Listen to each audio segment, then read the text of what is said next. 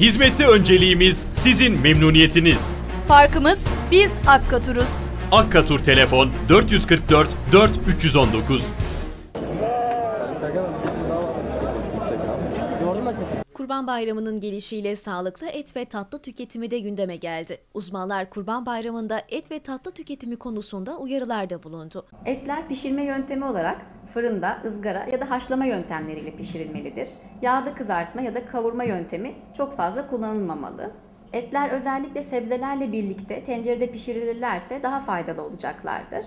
Eğer büyük parçalar halinde eti pişiriyorsak daha çok e, kanserojen maddelerin oluşmasına yol açmış olabiliriz. Özellikle ızgarada ve yüksek ateşte pişen e, etlerde kanserojen maddeler oluşabilir.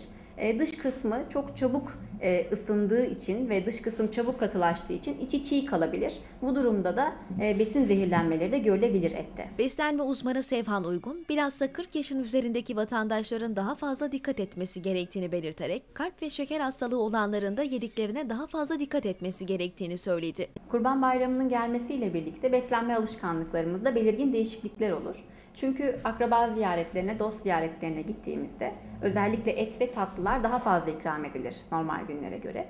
Bu durumda bizim daha çok dikkat etmemiz gerekir. Özellikle 40 yaşın üzerindeki bireylerde, kalp hastalığı olanlarda, şeker hastalığı olanlar ya da böbrek ve karaciğer hastalıkları gibi kronik rahatsızlığı olan kişilerde, tansiyon olan kişilerde daha çok dikkat edilmesi gerekir beslenmeye.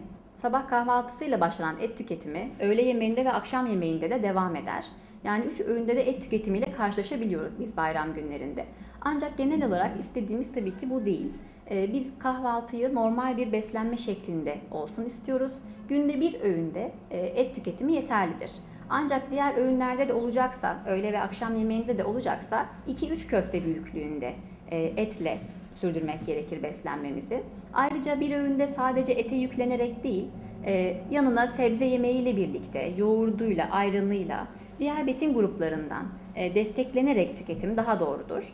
Uygun, et ve tatlı tüketiminin fazla olduğu zamanlarda yarım saatlik yürüyüşlerle alınan fazla kaloriler verilebilir diye konuştu. Et tüketimi çok fazla oldu diyelim ki ya da o gün çok fazla tatlı da tüketildi. Bunu biz o gün içerisinde yarım saatlik yürüyüşler yaparak en azından e, telafi etmeye çalışmalıyız. Aldığımız fazla kaloriyi o gün içerisinde yakmaya çalışmalıyız. Çünkü bir günde çok önemli değil gibi görünse bile 3-4 gün birleştiği zaman hem e, biraz önce bahsettiğim gibi kalp hastalığı olanlar, e, şeker hastalığı gibi kronik rahatsızlığı olanlar bu durumdan olumsuz etkileneceklerdir. Hem de kilo vermeye çalışanlar ya da kilosunu korumaya çalışan kişilerde bu 4 günün sonucunda belirgin bir kilo artışı bile gözlemlenebilir.